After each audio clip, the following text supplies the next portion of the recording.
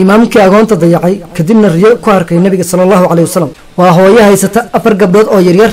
Ninkeediina waa uu geeriyooday. Waxay ahaayeen reer danyar ah waxaana masaariiftooda markii hore soo xoogsan jiray ninkeeda. Haddase waxaa helay geeri gabadhan waxay degan tahay magaalo dadka islaamka ahi ku badan yihiin. Waase ku adkaatay inay hesho caawimo kadib silic iyo saxariir badan. Waxay go'aansatay inay ka haajirto waxay u haajirtay magaalo ay ku badan yihiin. Dad caabudo asnaamta iyo dhagxaanta waxay raadisay meel masaajid ku yaallo.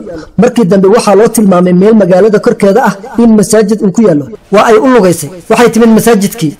Waxay la kulantay imaamkii masaajidka. Waxay u sheegtay waayihii soo maray iyo sida ay u dhibaataysan yihiin ayadiiyo carruurteedaba waxa uu imaamkii masaajidka ku yidhi maxaad ku caddaynaysaa inaad islaam tahay?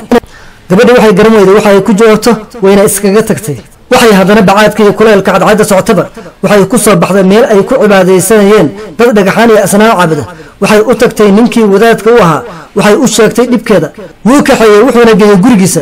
Iyadii afartii carruurta ahaydba waxa uuna ku yidhi iska deganaada halkan wax ka cuna gurigan waa gurigiina oo kale. Markii ay maalmo halkaas ay deganaayeen kuna nasteen ayaa imaamkii masjidka habeen ku riyooday rasuulka sala allahu caleyh wasalam oo hortaagan guri weyn oo jannada ku yaalla. Oo aad u qurux badan dad badan oo imaamka ku jirana hor taagan yihiin asaga oo ku dhawaaqaya waryaha islaama oo gurigaas isiiya marka uu kelmaddaasi yidhi ayaa waxaa gacanta taagay imaamkii.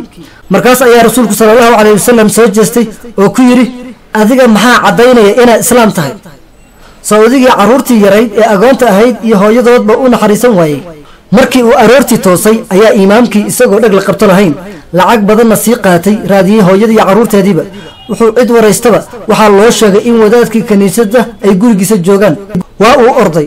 Wuxuu ugu tagay guriga wadaadkii kale waxa uuna ku yidhi inta aad doonto lacag sheego. Fadlan igu soo wareeji carruurta iyo hooyadood. Wadaadkii kiniisadda ayaa intuu dhow la caddeeyey kaxeeyey. Wuxuuna tusay carruurtii yaryarayd oo la ciyaaraya carruurtiisa iyo hooyadood oo la joogta xaaskiisa oo faraxsan.